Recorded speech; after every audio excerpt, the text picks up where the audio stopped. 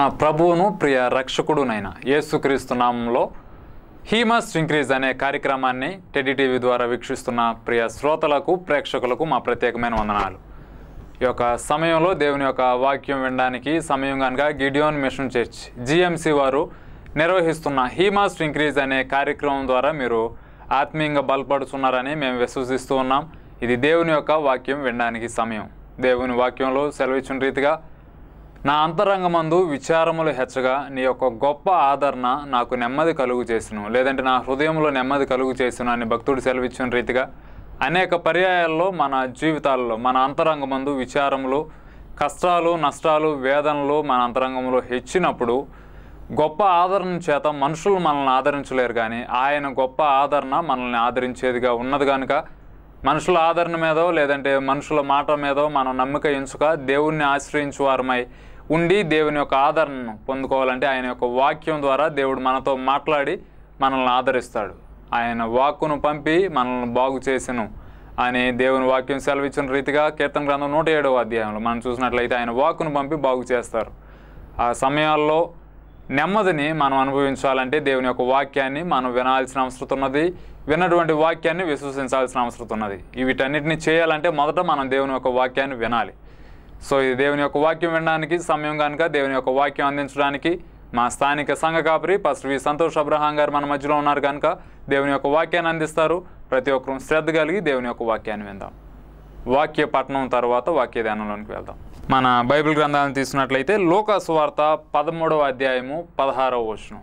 Luke chapter thirteen verse uh, sixteen ఇదిగో పదునెనిమిది ఏండ్ల నుండి సాతాను బంధించిన అబ్రహాము కుమార్తె అయిన ఈమెను విశ్రాంతి దినమందు ఈ కట్ల నుండి విడిపింపదగదా అని అతనితో చెప్పాను. దేవుని స్తోత్రం లూకాసు వార్త పదమూడో అధ్యాయము పదహారవ వచనం. గత ఎపిసోడ్లో లూకాసు వార్త పదమూడో అధ్యాయం దాటి వచ్చినట్టుగా ఉన్నాం మళ్ళీ ఎందుకో మరి ఈ షూటింగ్ జరిగేటువంటి రోజు ఉదయాన్నే నేను కొద్దిగా దేవుని వాక్యం ధ్యానిస్తున్నప్పుడు యేసు యొక్క ప్రశ్న మళ్ళీ ఎందుకో మరి నా ఆత్మలో నాలో ప్రతిధ్వనించినట్టుగా అనిపించింది. చదువుకుందాం. లూకాసు వార్త పదమూడో అధ్యాయము పదహారు వచనం. ఇదిగో సాతాను పద్దెనిమిది ఏండ్ల నుంచి బంధించిన అబ్రహాము కుమార్తె అయిన ఈమెను సబ్బాతు రోజున ఈ కట్ల నుండి విడిపించకూడదా అని అతనికి జవాబిచ్చాడు. దయచేసి చదవండి. ఇదిగో ఏండ్ల నుండి సాతాను బంధించిన అబ్రహాము కుమార్తె అయిన ఈమెను విశ్రాంతి దినమందు ఈ కట్ల నుండి విడిపింపదగదా? నన్ను ఆలోచింపజేసిన మాట ఈ కట్ల నుంచి విడిపించదగదా? ఈ కట్ల నుంచి విడిపించదగదా? అంటే దాని అర్థం ఈ కట్ల నుంచి విడిపించాల్సిందే. ఈ కట్ల నుంచి విడిపించకూడదని మీరు ఎందుకు అనుకుంటున్నారు? ఈ దినమో విశ్రాంతి దినమో లేకపోతే మరొక దినమో లేకపోతే స- వేరొక పండగ దినమో ఏదో నాకు అనవసరం. కానీ ఈ కట్లు కనిపించినప్పుడు కట్లు చూడలేదు కాబట్టి మీరు గుడివాళ్ళలాగా ఉండి పట్టించుకోకుండా ఉన్నారు. కానీ ఆత్మలో నేను కట్లు చూస్తున్నాను. కట్లు చూశాను కనుక కట్లను తెంపనిదే. పరిశుద్ధాత్మ శక్తి ద్వారా లేకపోతే ప్రభు పంపిన వాని ప్రభావాన్ని ఆధారం చేసుకొని ఆ కట్లు తెంపేదాకా నేను ఊరుకోను. దానికి ఏ రోజైనా పర్లేదు. అది అర్ధరాత్రి అయినా అపరాత్రి అయినా పర్లేదు. లేకపోతే ఇందాక మనం చదువుకున్నట్టుగా విశ్రాంతి దినమైనా పర్లేదు. అమావాస్య అయినా కావచ్చు. ఇంకేదైనా కావచ్చు. కట్లు తెంపబడాల్సినటువంటి అవసరత ఉంది. కట్ల నుంచి విడిపించాల్సినటువంటి అవసరత ఉంది.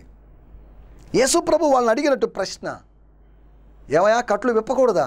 కట్లు విప్పడం కూడా పాపేనా విశ్రాంతి దినమున కట్లు విప్పట పాపమని మీ ధర్మశాస్త్రంలో ఎక్కడైనా ఉందా అన్నట్లుగా ఉంది అని అడగ అనలేదు ఉందా అన్నట్లుగా యేసు ప్రభు వాళ్ళని ప్రశ్నించేసరికి వాళ్ళు సిగ్గుపడ్డారు లేకపోతే వాళ్ళు మాట్లాడలేకపోయారు. లూకాసు వార్త పద్నాలుగు వచ్చాయలు మనం పక్కనే చదివితే ఆ తర్వాత ఆయన మీలో ఒకటి కుమారుడు కానీ కుమారుడు కానీ గాడిద కానీ విశ్రాంతి రోజు గుంటలో పడితే దాన్ని వెంటనే పైకి తీయడా అని వారిని అడిగాడు. వాళ్ళు సమాధానము చెప్పలేకపోయారు అనగా వారు మాట్లాడలేకపోయారు అని రాయబడింది. సేమ్ ప్రశ్న. పదమూడో అధ్యాయంలో ఉన్నటువంటి ప్రశ్నను రిపీట్ చేశాడు విశ్రాంతి దినం గురించి. కానీ కట్ల నుంచి ఆమె ఎవరు? ఆమె గురించి మీకేం తెలియడం లేదు. ఆమె పేరు అక్కడ ప్రస్తావించబడలేదు.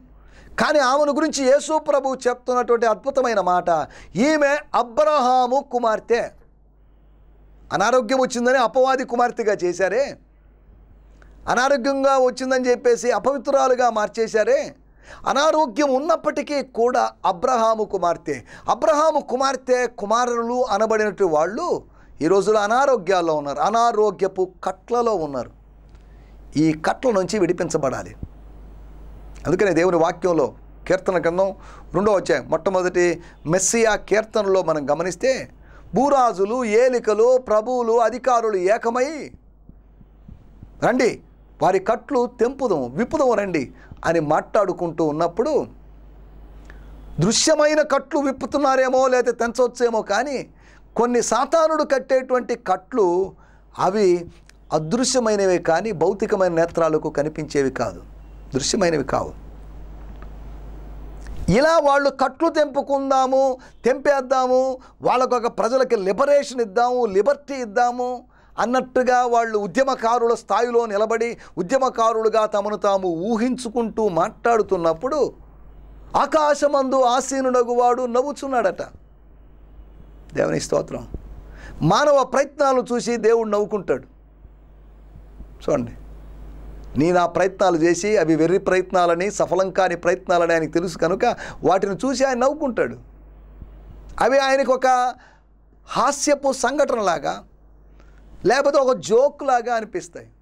మానవ ప్రయత్నాలు మానవునికి నేను ఎంత కష్టపడుతున్నాను ఎంత ప్రయాసపడుతున్నాను నువ్వు గర్వంగా చెప్పుకోవచ్చేమో కానీ నీ కొన్ని ప్రయత్నాలు మత సంబంధమైన ప్రయత్నాలు నీ మీద నువ్వు ఆధారపడి నీ జ్ఞానం మీద ఆధారపడి నువ్వు చేసే ప్రయత్నాలు దేవుని దృష్టికి వెర్రితనంగా ఉన్నాయి అనే సంగతిని జ్ఞాపకం చేసుకోవాలి నీ వెర్రి పనులను బట్టి వెర్రి ప్రయత్నాలను బట్టి ఆకాశమందు ఆశీనుడగువాడు అప్పుడే కాదు కీర్తన రెండవ అధ్యాయంలోని సందర్భంలోనూ కాదు ఈ దినాల్లో కూడా కొంతమంది చేసే ప్రయత్నాలను బట్టి ఆయన నవ్వుతున్నాడేమో అనుకుంటున్నాను. దేవునికి స్తోత్రం. మనం ఆలోచిస్తున్న మాట కట్లు తెంపుదాం. కట్లు విప్పుదాం. ఈమెను గురించి మీరు ఎప్పుడు ఆలోచించలేదేమో? ఈమె అబ్రహాము కుమార్తె. ఈ అబ్రహాము కుమార్తె యొక్క కట్ల నుంచి విడిపించాలి. మీరు విడిపించలేరు. మీరే కట్లలో మీరే బంధకాల్లో మీరే తాళలో మీరు బంధించబడిన స్థితిలో ఉన్నారు. బంధించబడిన మీరు కట్లలో ఉన్న మీరు కట్లలో ఉన్నటువంటి మరొక వ్యక్తిని మీ సహోదరిని మీరు ఎలా విడిపించగలరు? కట్టు లేకుండా స్వతంత్రుడుగా అన్నట్టు నేను మాత్రమే విడిపించగలను అన్నట్టుగా యేసు ప్రభు ఆమెకు విడుదల కలుగు చేసినట్టుగా పద్దెనిమిది సంవత్సరాలుగా సాతానుడు కట్టి కట్టి కట్టి కడుతూనే ఉండి ఆమె నడుముకు కట్టి అక్కడ రాయబడిన మాట. అదే ఇదే అధ్యాయం మనం గమనిస్తే పదకొండవ వచనంలో గమనిస్తే పదమూడవ అధ్యాయం పదకొండవ వచనం. అక్కడ పద్దెనిమిది ఏండ్ల నుంచి బలహీనపరిచేటువంటి ఆత్మ చేత దెయ్యం చేత బాధించబడుతూ ఎంత మాత్రము చక్కగా నిలబడలేక గూని అయిన ఒక స్త్రీ ఉంది. దేవుని స్తోత్రం.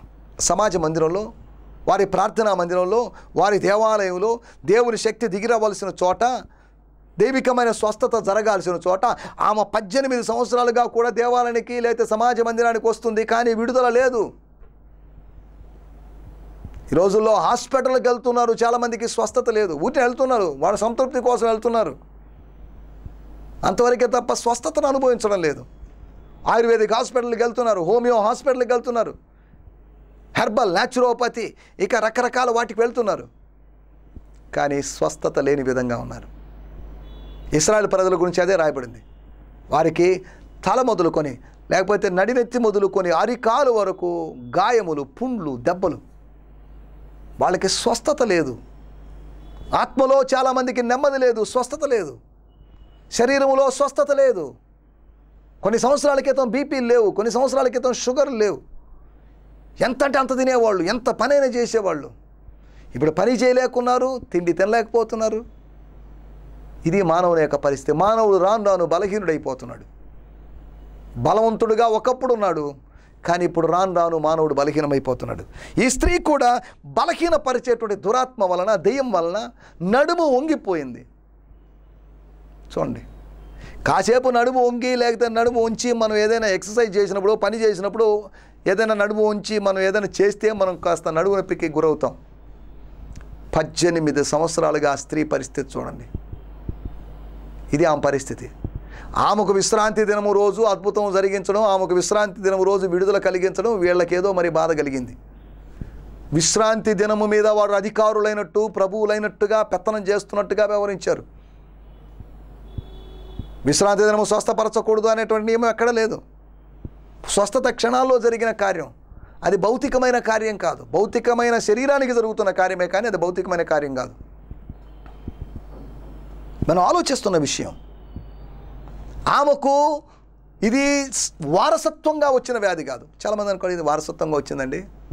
చాలామంది నాతో అంటున్నారు బ్రదర్ మీ ఇంట్లో అందరికీ షుగర్ ఉంది కాబట్టి వారసత్వంగా నీకు షుగర్ వచ్చే అవకాశం ఉంది. రావచ్చు. వచ్చినా దేవుని స్తోత్రం రాకపోయినా దేవుని స్తోత్రం. షుగర్ గురించే మనం బాధపడడం లేదు. మనుషులు ఇదే అంటారు ఒకవేళ ఈ వ్యాధి మరణం కోసం వచ్చి ఇంకేముంది? ఇది కష్టమేనండి ఈ రోగం వచ్చింది రోగం ముదిరిందంటే వస్తారు ఈ థర్డ్ స్టేజ్ దాటి ఫోర్త్ స్టేజ్కి వచ్చిందనుకోండి ఇంకా చస్తారు. అనగా వ్యాధి అనగానే వారసత్వంగా వచ్చిందనో లేకపోతే మరణం కోసం వచ్చిందనో లేకపోతే చికిత్స దొరికే అవకాశం లేదనో ఇలా రకరకాల వ్యాఖ్యానాలు చేస్తుంటారు ప్రజలు. కానీ ఏమొక వ్యాధి వచ్చినప్పుడు ఎవరు గుర్తించినటువంటి ఒక విషయం వేసు గుర్తించాడు. ఆమె నడుము ఎందుకు వంగిపోయిందో తెలుసా? ఆమె నడుము వంగిపోవడానికి కారణం ఏంటో తెలుసా? ఏం తెలీదు. ఏమైనా జెనెటికల్ లేకపోతే పుట్టుకతోనే వచ్చినటువంటి లోపమేమో ఆ నడుముకున్నటువంటి ఆ ఎముక వంగిపోయిందేమో దాన్ని ఏ వైద్యుడు సరిచేయలేడేమో అన్నట్టుగా వాడు ఆలోచిస్తున్నప్పుడు ఇవన్నీ కాదే కానే కాదు దీని వెనుక ఒక ఆత్మీయ కారణం ఉంది. అదేంటో తెలుసా? ఆమె కొన్ని కట్ల చేత కట్టబడింది. ఆ కట్లు తెగినప్పుడు పద్దెనిమిది సంవత్సరాలుగా వంగిపోయిన స్థితిలో నుంచి ఆమె పైకి లేచే అవకాశం ఉంది. చక్కగా నిలబడేటువంటి అవకాశం ఉంది. దైవికమైన స్వస్థతను నువ్వు అనుభవిస్తే నువ్వు చక్కగా నిలబడగలవు చక్కగా మాట్లాడగలవు చక్కగా తిరగగలవు చక్కగా తినగలవు చక్కగా తాగలవు దైవిక స్వస్థతను అనుభవించాలి ఇది దేవుని చిత్తం. దాని గురించి అది పిల్లల రొట్టె అని మనం చెప్పుకున్నాం. పిల్లల రొట్టె దేవుని పిల్లలమైన మనం అనుభవించాలి. హీలింగ్ మనం అనుభవించాలి. నీ శరీరములో స్వస్థతను నువ్వు అనుభవించాలి. నీ శరీరము రోగాల నిలయం కాదు. నీ శరీరం ఒక మెడికల్ షాప్ కాదు. నీ శరీరము ఒక మందు బాటిల్ కాదు. నీ శరీరంలో స్వస్థతను అనుభవించాలి దైవికమైన స్వస్థతను అనుభవించాలి. దేవుడు తన ప్రజలకు దైవికమైన స్వస్థతను వాగ్దానం చేశాడు. సరే వాటిలోకి వెళ్ళలేదు ఒకటి అనారోగ్యపు కట్ల నుంచి మానవుడు మానవాళి విడిపించబడాలి. అది దేవుని ఉద్దేశం. రెండో విషయాన్ని నేను మీకు జ్ఞాపకం చేస్తాను. రెండో కట్లను మీకు గుర్తు చేస్తాను. లూకాసు వార్త పంతొమ్మిదో అధ్యాయము ముప్పై వచనము. లూకాసు వార్త పంతొమ్మిదో అధ్యాయము ముప్పై వచనంలో మనం గమనిస్తే అక్కడ గమనించేటువంటి ఒక విషయము. మీరు ఎదుటనున్న గ్రామమునకు వెళ్ళుడి. అందులో మీరు ప్రవేశింపగానే.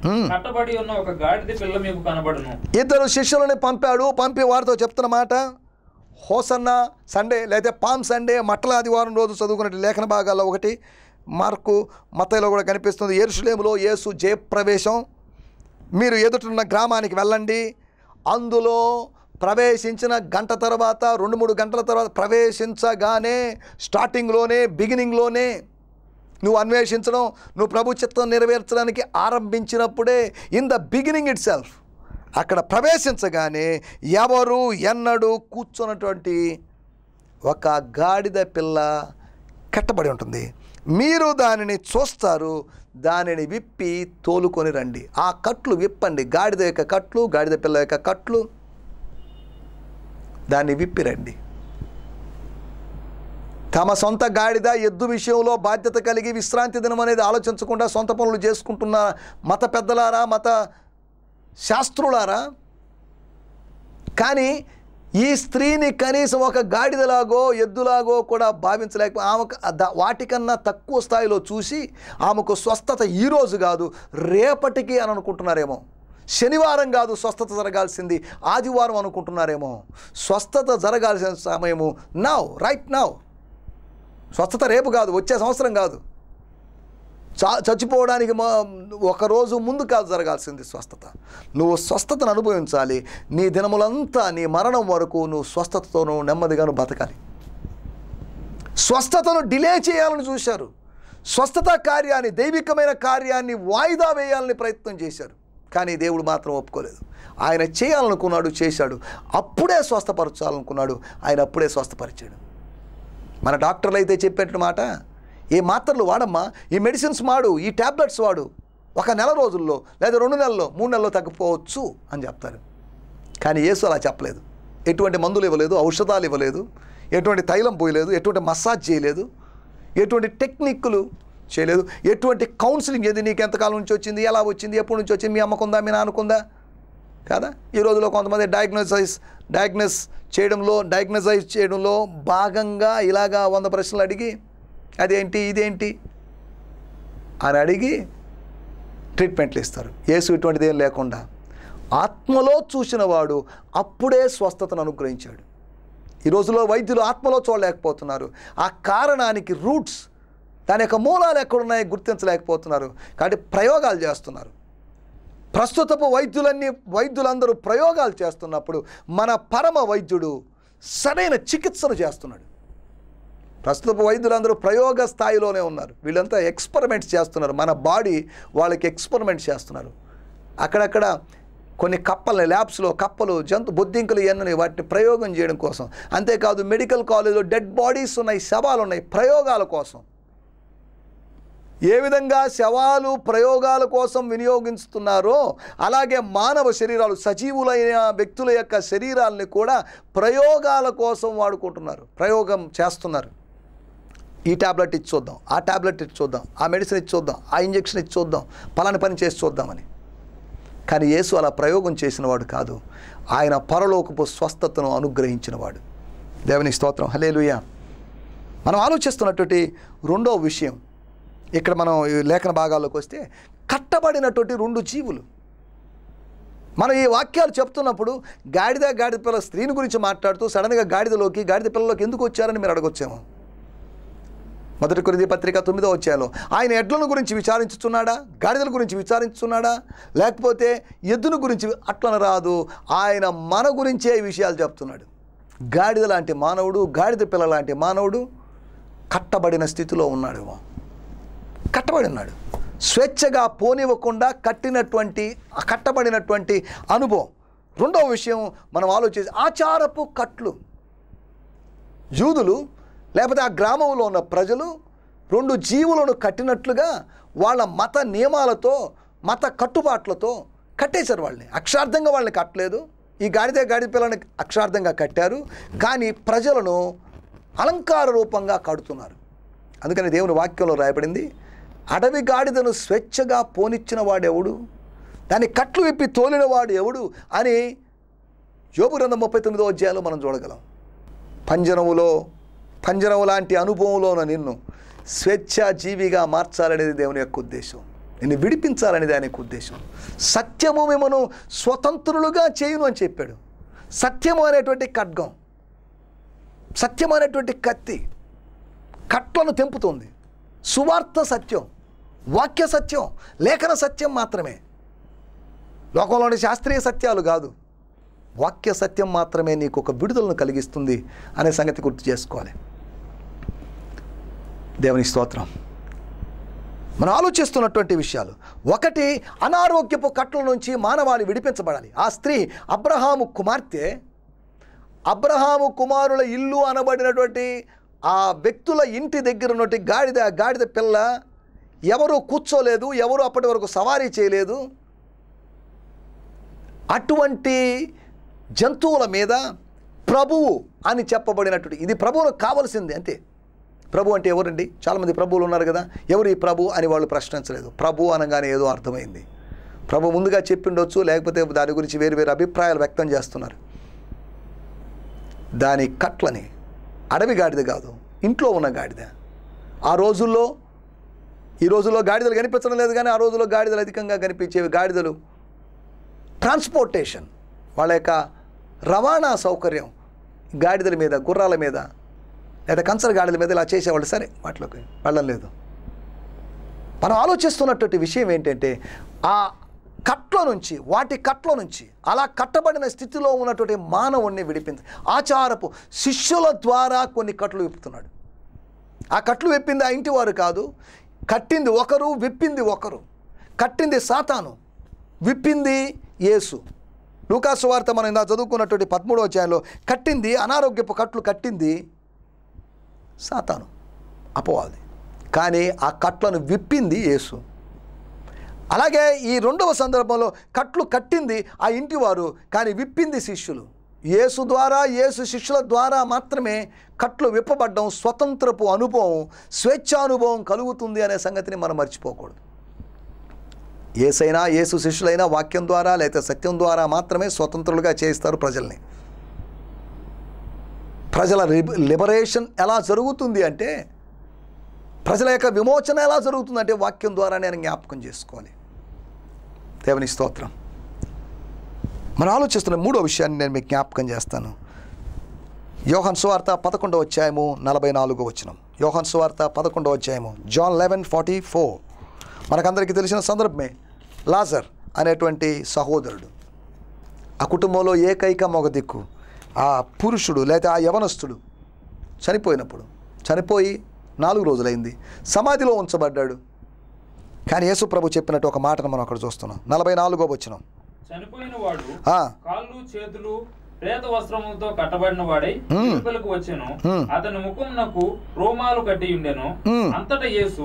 మీరు అతని కట్లు విప్పిపోనీయుడని వానితో చెప్పాను. చనిపోయిన వాడు బయటికి వచ్చాడు లాజర్ బయటికి వచ్చాడు. అతని చేతులు కాళ్ళు నూలు తాళ్ళతో కట్టబడి ఉన్నాయి. ముఖం మీద రూమాలు కట్టి ఉంది. మీరు అతని కట్లు విప్పి అతన్ని పోనీయుడని యేసు వారితో చెప్పాడు. ఈ కట్లు కట్టి లోపల పెట్టిన వాళ్ళతో చెప్పాడు ఆ కట్లు మీరే విప్పండి అని చెప్పాడు. వాళ్ళే కట్టారు. మరి ఆ మార్తలు ఏడుస్తున్నప్పుడు వారి కన్నీళ్ళ సాక్షిగా ఆ తాళ్ళతో తమ్ముని యొక్క దేహాన్ని కట్టేశారు.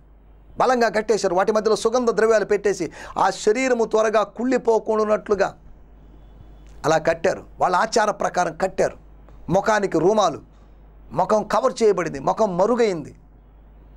ఇలాంటి పరిస్థితిలో యేసుప్రభు చెప్తున్నాడు లాజరు బయటికి రమ్మని చెప్పినప్పుడు పిలిచినప్పుడు చచ్చిపోయినాడు ఎలా వస్తాడు? అని ప్రజలు ఆలోచించుంటే ఆలోచించుండొచ్చు.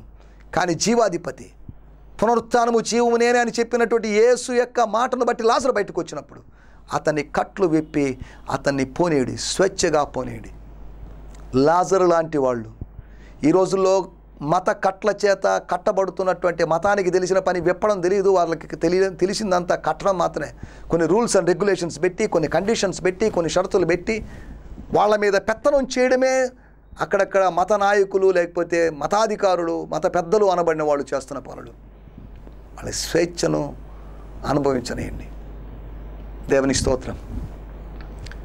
మూడో విషయం ఆత్మీయ కట్లలోంచి ఇక్కడ జరిగింది భౌతికమైన మరణం. కానీ విశ్వాసి ఆత్మీయ మరణపు కట్ల చేత కట్టబడుతున్నాడు అది సమస్య. పాపముల చేతను అపరాధముల చేతను చచ్చిన వారమై ఉన్నాం. మన అతిక్రమాలు మనల్ని చంపేశాయి. అతిక్రమము ఆయుధమై మనల్ని మన ఆత్మీయ జీవితాన్ని అంతం చేస్తుంది. అతిక్రమం ఆయుధంలాగా మారి అపవాది యొక్క ఆయుధంలాగా మారి నీ ఆత్మీయ జీవితాన్ని ముందుకు సాగనీయకుండా నీ జీవితాన్ని నీ ఆత్మీయ జీవితాన్ని అంతం చేస్తున్నప్పుడు అదృశ్యమైనటువంటి మృత్యు పాశాలు మృత్యు తాళ్ళు. ఇక్కడ తాళ్ళు అని రాయబడింది నూలు తాళ్ళు అని నా తర్జుమాలో రాయబడింది. సంసోను జీవితంలో లేకపోతే సంసోను బలమైన దేహం మీద అభిషక్తుని దేహం మీదకి కొత్త తాళ్ళు వచ్చి పడ్డాయి. చూడండి. అవి తెగిపోయిన తర్వాత సంగతి ఇది. ఇక్కడ వాటిని తంపమని కాదు వాటిని విప్పి పోనీయండి. ఇక లాజర్కి ఆ తాళ్ళతో అవసరం లేదు. అతడు స్వేచ్ఛాజీవిగా మారాలంటే ఎక్కడ కట్టబడ్డావో? నీ ఆత్మీయ జీవితంలో ఎక్కడ కట్టబడ్డావు? నీ ప్రార్థన లేకుండా ఎలా కట్టబడ్డావు? నీ నోరు కుట్టబడిందో కట్టబడిందో? ఆరాధనలో చేతులు ఎత్తనీయకుండా నీ చేతులు కట్టబడ్డాయేమో? లేచి నిలబడినివ్వకుండా నీ కాళ్ళు కట్టబడ్డాయేమో? నీ నడుము కట్టబడిందేమో? అన్ని పనులు చేస్తాం కానీ దేవుని మందిరానికి వచ్చి పనిచేయడం అంటే కష్టం. ఇంట్లో గొడ్డు చాకరీ చేస్తాం కానీ దేవుని మందిరానికి వచ్చి ఓ శుభ్రం చేయడము మందిరం గడగడం ఇవన్నీ చేయాలంటే మనసు కష్టం చాలామందికి ఇంట్లో చెమటలు గక్కేటట్టుగా జుట్టంతా రేగిపోయి పిచ్చి పిచ్చిగా చింపిరి చింపిరిగా ఉండి ఎన్నో పనులు చేస్తారు. కానీ శ్రేష్టమైనటువంటి దేవుని మందిరంలో వచ్చి చిన్న పని చేయడానికి కూడా ఏమాత్రం ఇష్టం లేదు. ఒకవేళ ఏదైతే అది అలాగుందే ఇలాగుందే అని వంకలు పెట్టడానికి మాత్రం చాలామంది ఉంటారు కానీ పని చేయడానికి ఎవరు ఉండరు. అది విచారకరమైన విషయం. నీ స్థానిక దేవుని మందిరం విషయంలో బాధ్యత నువ్వు తీసుకో. శనివారం వెళ్ళు మందిరం శుభ్రం చేయి. అలా సంఘస్థులందరూ డ్యూటీలు డ్యూటీలు వేసుకొని వంతుల వారీగా పనిచేసి నీ మందిరాన్ని శుభ్రంగా నీ భౌతికమైన మందిరాన్ని శుభ్రంగా ఉంచుకో. అదే సమయంలో నీ వ్యక్తిగతమైన జీవితంలో నీ ఆత్మ సంబంధమైన మందిరాన్ని కూడా శుభ్రంగా ఉంచుకోవడానికి ప్రయత్నం చేయి. దేవునికి స్తోత్రం. ఇక్కడ రాయబడిన మాట లాజరు స్వతంత్రుడు కావాలి. ఆ స్త్రీ గూనిగా ఉన్నటువంటి స్త్రీ స్వతంత్రురాలు కావాలి గాడిద గాడిద పిల్ల స్వతంత్రులు కావాలి లాజరు స్వతంత్రులు అనగా ఈ ముగ్గురు లేకపోతే నలుగురు లేకపోతే ఈ వ్యక్తులు లేకపోతే ఈ వస్తువులు లేకపోతే ఈ జంతువులు లేకపోతే వీరు విముక్తి కావాలి లేకపోతే వీరికి విడుదల కావాలి వీరి కట్లలోంచి వీరు బయటికి రావాలి. అది దేవుని యొక్క ఉద్దేశం. నీ కట్టలోంచి నువ్వు బయటికి రావాలి. వచ్చావా కట్టలోంచి ఇంకా కట్టలో ఉన్నావా? గలతీర రాసిన పత్రిక ఐదో వచ్చాయి ఒకటో వచ్చిన రాయబడింది.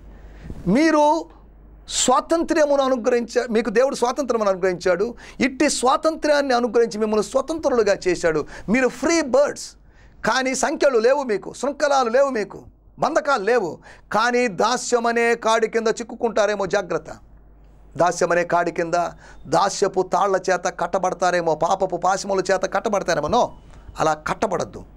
మరలా దాస్యం అనే కాడి కింద చిక్కుకోవద్దు. మరలా వెళ్ళిపోతారేమో మరలా తల అప్పగిస్తారేమో మరలా దేహాన్ని అప్పగిస్తారేమో మరలా నడువులు అప్పగిస్తారేమో మరలా కాళ్ళు అప్పగిస్తారేమో మరలా చేతులు అప్పగిస్తారేమో. కట్టబడిన స్థితిలోంచి బయటికి రా. సంసోను కట్టబడినట్లు కట్టబడతావేమో? వద్దు కట్టబడద్దు. నీవు స్వేచ్ఛాజీవిగా ఉండాలి. నీ మీదకి బలమైన అభిషేకము దిగి వచ్చినప్పుడు దేవుని ఆత్మ దిగి వచ్చినప్పుడు సాతాను ఎటువంటి కొత్త తాళ్ళైనా నూలు తాళ్ళైనా ఎటువంటి తాళ్ళు కట్టినా వాటన్నిటినీ సులభంగా తుత్తనీయలుగా చేసేటువంటి శక్తి దేవుని శక్తి నీ మీదకి వస్తుంది. అదృశ్యమైన కట్లన్నీ అనారోగ్యపు కట్లు ఆచారపు కట్లు ఆత్మీయ కట్లు అనగా ఆత్మీయ మరణపు కట్లన్నీ నీ మీద నుంచి తెంచివేయబడి నీ ఆత్మీయ జీవితంలో నువ్వు స్వేచ్ఛాజీవిగా ఉండాలి. అది దేవుడు. నువ్వు సమాధిలో ఉండాల్సిన వాడివి కాదు. నువ్వు గేరాసేను దేశంలోని ఆ వ్యక్తిలాగా సేనాలాగా సమాధుల మధ్యలో సంచారం చేయాల్సిన వాడివి కాదు నువ్వు. నువ్వు స్వేచ్ఛాజీవిగా ఉండాల్సిన వాడివి సమాజంలోకి రావాల్సిన వాడివి. మూడు విషయాలు నేను మీకు గుర్తు చేశాను. ఈ కట్ల నుంచి ఆమెను విడిపించకూడదా? విడిపిస్తే తప్ప? విడిపించడం అదే పెద్ద అతిక్రమమా? విడిపించడం విశ్రాంతి దినాన్ని ఉల్లంఘించడమేనా? ఏం మాట్లాడుతున్నారు మీరు అన్నట్టుగా ప్రభువు మాట్లాడి ఏమను విడిపించాలి అనారోగ్యపు కట్ల నుంచి. ఆ గాడిద గాడిద పిల్లను ఆచారపు కట్ల నుంచి విడిపించాలి. అవి స్వేచ్ఛా జీవులుగా తిరగాలి. అవి దావీదు కుమారుని మోయాలి. జకరియా ప్రవచనం నెరవేరాలి. మూడవదిగా మనం ఆలోచించిన విషయం మృత్యు పాశముల నుంచి ఆత్మీయ మరణపు పాశముల నుంచి నువ్వు విడిపించాలి. మరణములోంచి జీవములోకి దాటాలి నువ్వు. మరణపు కట్లు కాదు. కట్టి అనుభవంలోకి రావడానికి ప్రభు నీకు సహాయం చేయనుగా కట్టి స్వేచ్ఛ అనుభవం దేవుడు నీకు అనుగ్రహించునుగాక. దేవుని స్తోత్రం. మమ్మల్ని మిక్కిలిగా ప్రేమిస్తున్నటువంటి మా ప్రియ పరలోపు తండ్రి మీకు వందనాలు. ఈ యొక్క సమయంలో మీ సేవకుల్లోంచి మీరు మాతో మాట్లాడిన విధానాన్ని బట్టి మీ నామాన్ని స్థుతిస్తున్నాం. తండ్రి లోకాసు వార్త పదమూడవ అధ్యాయం పదహారవ వచనంలో ఉంచి తండ్రి కట్టుల నుండి విడిపింపబడుట అని మీరు మీ సేవకుల్లోంచి మాట్లాడిన విధానాన్ని బట్టి నామాన్ని స్థుతిస్తూ ఉన్నాం.